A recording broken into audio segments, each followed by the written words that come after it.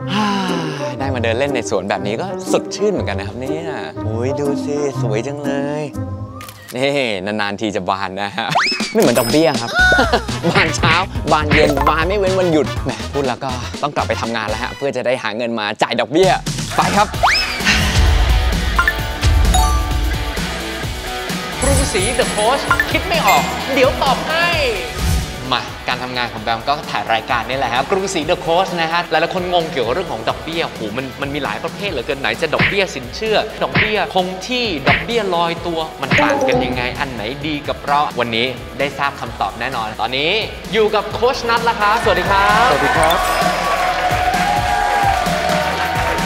ก่อนอื่นเลยอยากให้โค้ชนัทแชร์ให้ฟังครับว่ามันต่างกันยังไง อะไรคือดอกเบี้ยคงที่อะไรคือดอกเบี้ยลอยตัวสำหรับใครที่งงอยู่ครับตอนนี้ ดอกเบี้ยสินเชื่อเนี่ย ภาษาไทยเรามีแค่คงที่กับลอยตัวอือฮึจริง ๆ แล้วคงที่ก็มีอีก 2 แบบ แตกไปอีก แตกไปอีกครับ แบบแรกดอกเบี้ยคงที่จะใช้มากคือซื้อรถยนต์ ซื้อรถยนต์ ดอกเบี้ยคงที่อีกแบบหนึ่งก็คือดอกเบี้ยที่อยู่ในสินเชื่อบุคคล สินเชื่อบัตรเครดิต อันแรกก่อนสินเชื่อเช่าซื้อรถยนต์ครับ แต่ภาษาอังกฤษเขาใช้คำว่า flat rate อ่าอ่ามัน flat มัน flat ตรงไหน คือวิธีการคิดคือสมมุติลด 1 ล้านบาท 4 ปี ต้นมัน flat ก็คือ flat ทั้ง 1 ล้านบาทไป 4 ปีอ่าฮะดอกเบี้ยสมมุติว่าโชว์รูมเขาให้เรามา 3%ครับ3%ของ 1 ล้านก็คือสามหมื่น30,000ครับ4 ปี ต้นมันเท่ากันหมด ก็คูณ 4 เข้าไปแสนสองอ่าถูกต้องครับก็เป็น 1 ล้าน1แสน2หมื่น แล้วมาหารผ่อนต่อเดือนครับ 48 งวดครับเพราะฉะนั้น1ล้าน1แสน2หมื่นหาร 48 เป็นงวดผ่อนอ่าอันเนี้ยคือสิ่งที่พวกเราเข้าใจง่ายที่สุดครับแล้วพวกเราใช้อยู่ทุกวันอ่าฮะแต่จริง ๆ ดอกเบี้ยคงที่ของสินเชื่อของธนาคารเนี่ยครับจะต่างกัน ถ้าไปคิดแบบ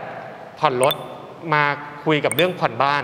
อันนี้ผิดเลย ผิดเลยแพงมหาศาลอ๋อเพราะว่าสินเชื่อธนาคารเวลาผ่อนบ้านครับจะเป็นแบบ สิ่งที่เรียกว่าลดต้นลดดอก เพราะฉะนั้นคงที่ที่ว่าก็เลยไม่สามารถใช้ด้วยกันได้อือฮึอย่าเอาสูตรคำนวณของผ่อนรถมาใช้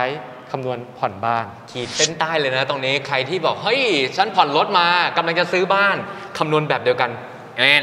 ถูกต้องผิดเลยนะฮะใช่ครับการเป็นการคำนวณดอกเบี้ยคนละแบบถูกครับนะฮะแบบรถก็คือได้ฟังกันไปแล้ว flat rate แต่อันนี้มาที่บ้านอะนะฮะมาที่บ้านเนี่ยเข้าใจได้ว่าเพื่อนๆ หรือว่าท่านผู้ชมหลายท่านก็อาจจะคงที่ลอยตัวคงที่ลอยตัว fix หรือ float อ่าฮะต้องเลือกมันคือสิ่งที่ต้องเลือก fix กับ float ไอ้ float เนี่ยมัน float อะไรล่ะ float อะไรที่บอกมันลอยเนี่ยไอติมฮะ float ใช่ไหมฮะอืมอร่อยสดชื่นเลยหรือเปล่าฮะใช่เหรอ ไม่น่าไม่เกี่ยวใช่ไม่ใช่อ่าฮะไอ้คำว่าโฟลตที่ว่าเนี่ยคือมันลอยตัวมันลอยตัวตามดอกเบี้ยอ้างอิง ในวงการธนาคารดอกเบี้ยสินเชื่อเนี่ยเรามี 3 ตัวก็คือ MLR MOR MRR วงการสินเชื่อบ้านเนี่ย ส่วนใหญ่จะใช้ MRR นะครับ Minimum Retail Rate ครับเป็นอัตราดอกเบี้ยอ้างอิงที่แต่ละธนาคารกำหนดขึ้นมาเองครับอ้างอิงของตัวเองอ่าเพราะฉะนั้นในแต่ละช่วงเวลาเนี่ยจะไม่เท่ากันแบงก์ A MRR อาจจะ 6.05%ณวันนี้แบงก์ B อาจจะ 6.65%ณวันนี้ เพราะฉะนั้นมีร้อยตัวนะอ่าร้อยตัวคือมันลอยตาม M ที่ว่านี้อ่าฮะอ่าแล้วมันลอยเนี่ยมันลอยแบบไหนก็คือมันลอยตามสภาวะเศรษฐกิจ ครับนะครับสินเชื่อบ้านเราผ่อนได้ 10 ปี 15 ปี 20 ปี 30 ปี ครับ เราผ่อนได้ยาวเลยวงการสินเชื่อเพื่อที่อยู่อาศัยเนี่ยเราจะมีสิ่งที่เรียกว่าดอกเบี้ยโปรโมชั่น 3 ปีแรก เพราะฉะนั้น 3 ปีแรกเนี่ยถือเป็นช่วงฮันนีมูนพีเรียดอ่าเป็นช่วงโปรโมชั่น โปรโมชั่นจัดโปรมาให้ช่วงแรกใช่สามครับ ปีแรก 3 ปีแรกจะถูกเป็นพิเศษ เราเห็นที่เขาโชว์ว่า 3 ปีแรกเฉลี่ย 3%ครับ อ้าวเฉลี่ย 3%เท่ากันหมดทุกแบบเลยอืมแต่จริง ๆ แล้วเนี่ยในรายละเอียดแต่ละปีไม่เท่ากัน ซูมเข้าไปอีก ซูมเข้าไปอีก สมมุติว่ามี 2 แบบครับ ก็คือแบบที่เรียกว่าขั้นบันไดกับคงที่ 3 ปีอ่านะครับขั้นบันไดคิดง่ายๆถ้า 3 ปีแรกก็คือ 1 3 5ครับส่วนคงที่ 3 ปีก็คือ 3%ทั้ง 3 ปี อันเนี้ยครับคือคงที่ทั้งคู่ครับมันเฉลี่ย 3%ทั้ง 2 ออปชันเลย ถามว่าไอ้แบบดอกเบี้ยเนี้ยอ่าฮะ ถ้ามัน 3%เท่ากัน ครับ มันก็ควรจะเท่ากัน ก็เลือกอันไหนก็ได้เลยคก็รับเลือกไหนก็ได้ ใช่ไหมฮะไม่ไม่ได้ใช่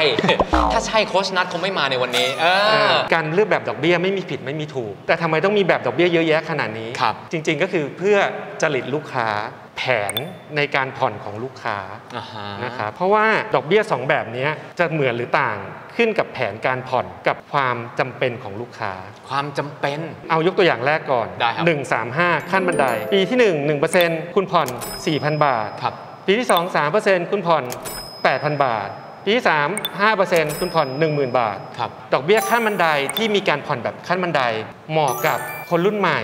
เพิ่งทำงานไม่นานเวลาซื้อบ้านหรือซื้อคอนโดอะมันก็ไม่ได้มาแบบคิ้วกระเป๋าย้ายเขาอยู่อ่าฮะไม่ได้มาแบบ fully furnished ตกแต่งเรียบร้อย แปลว่าระหว่างทางเราต้องช้อปปิ้งในปีแรก ๆ เพิ่ม สิ่งที่ดีที่สุดก็คือการเลือกการผ่อนแบบขั้นบันไดตามดอกเบี้ยแบบขั้นบันได เพราะว่าปีแรกๆ ก็จะเจอดอกเบี้ยที่ต่ำหน่อย ดอกเบี้ยต่ำหน่อยเรางวดผ่อนก็ต่ำหน่อย แล้วก็มีเงิน extra ในการไปช้อปปิ้งเข้าบ้าน ใช่ อ๋อ โอเค เข้าใจแล้วฮะ ดอกเบี้ยของสินเชื่อเพื่อที่อยู่อาศัยเนี่ย ลดต้นลดลดดดออกกไอ้คำว่าลดต้นมันแปลว่าอะไรแปลว่าเนี่ยทุกเดือนที่ผ่านไปที่เราผ่อนเนี่ยส่วนที่ตัดต้นเนี่ยมันทำให้ต้นลดลงอ่าฮะสมมุติง่ายครับๆนะครับว่าปีแรกต้นเรา1ล้านบาท เราผ่อนดอกเบี้ย3%ครับใช่ไหมครับ3%ก็คือครับ30,000 ที่เหลือส่วนที่เราผ่อนเป็นตัดต้นหมดเลยครับสมมุติปีที่ 2 เหลือ 9 0 0 0 0 0ดอกเบี้ย 3%เหมือนเดิมครับแต่ 3%ไม่ใช่ 3%คูณ 1 ล้านละ อันเนี้ย3%คูณ 9 0 0 0 0 0อ่า ครับ เราก็จะเหลือเสียดอกเบี้ยแค่27,000อ่าดอกหายไป 3,000 แล้วนะ ถึงแม้ว่าเปอร์เซ็นต์เท่ากันนะ เปอร์เซ็นต์เท่ากัน แต่สำหรับการผ่อนบ้านเนี่ย เป็นในรูปแบบลดต้นลดดอก สินเชื่อบ้านเป็นสินเชื่อที่งดงามมากคือ ไม่มีเบี้ยปรับถ้าเราผ่อนเกินงวด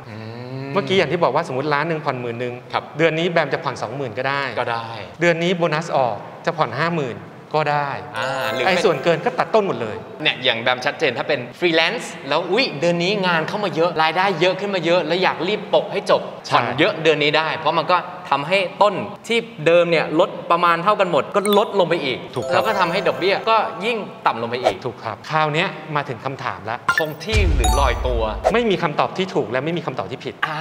เพราะว่าดอกเบี้ยคงที่หรือลอยตัวเนี่ยมันขึ้นกับสถานการณ์ทางเศรษฐกิจ อันเนี้ยถ้าดอกเบี้ยกำลังจะเป็นขาขึ้นครับวันนี้ถ้าเราเลือกแบบดอกเบี้ยที่มันฟิกมันคงที่อยากขึ้นขึ้นไปเลยอ่าเพราะเราเลือกแบบคงที่ไปแล้ว ถ้าดอกเบี้ยมันขาลงล่ะอ่าฮะอาจจะเสียเปรียบอาจจะเสียเปรียบอาจจะขาดทุนอ๋อ นี่คือหลักการนี่เองครับระหว่างคงที่กับลอยตัว fixed rate หรือว่า float rate ใช่ก็ต้องคาดการณ์หรือดูแนวโน้มถูกเศรษฐกิจ ไม่อยากจะให้ซีเรียสกับกับคำว่าฟิกหรือ float นะครับครับเขาไม่ได้ขึ้นกันแบบทุก ๆ เดือนทุกๆไตรมาสมันไม่ได้ขึ้นกันเร็วขนาดนั้นครับเพราะฉะนั้นปัจจัยที่มีผลต่อตัวเราครับในฐานะ ผู้ขอใช้สินเชื่อเนี่ยน้อยมาก โอ้โห วันนี้แบมเชื่อว่าคนที่ดูทุกคนที่สงสัยเกี่ยวกับเรื่องของดอกเบี้ยมานานอะแบมว่ากระจ่างขึ้นเยอะเลย คลิปในวันนี้นะครับอาจจะดูซับซ้อนมีเรื่องตัวเลขมากมาย ขอให้เราวางแผน เรามีความสามารถในการผ่อนมากน้อยแค่ไหน เดือนละกี่พัน เดือนละกี่หมื่น ส่วนแบบดอกเบี้ยให้เจ้าหน้าที่ธนาคารช่วยเลือกได้ fix float ก็อาจจะไม่ได้เป็นเรื่องที่คอขาดบาดตายอีกต่อไป ขึ้นอยู่ที่ความสามารถเราแผนเราและจริตเรา นะครับถูกทุกข้อถูกทุกคน แต่นี่คือความตั้งใจของรายการเราเลยครับกรุงศรี The COACH คือคิดไม่ออก เดี๋ยวตอบให้นะครับ แล้วเราก็ตอบให้เป็นที่เรียบร้อย หลายๆคนถามเข้ามาเกี่ยวกับเรื่องของดอกเบี้ย วันนี้ขอบคุณโค้ชนัทมากครับผมสำหรับ EP หน้าก็รอติดตามนะฮะว่าเป็น topic อะไร แต่เชื่อว่าเป็นประโยชน์กับทุกคนแน่นอน กด subscribe กดกระดิ่งรอไว้เลยนะฮะวันนี้หมดเวลาของแบงก์กับโค้ชนัทแล้วครับเจอกันใหม่ EP หน้าสวัสดีครับ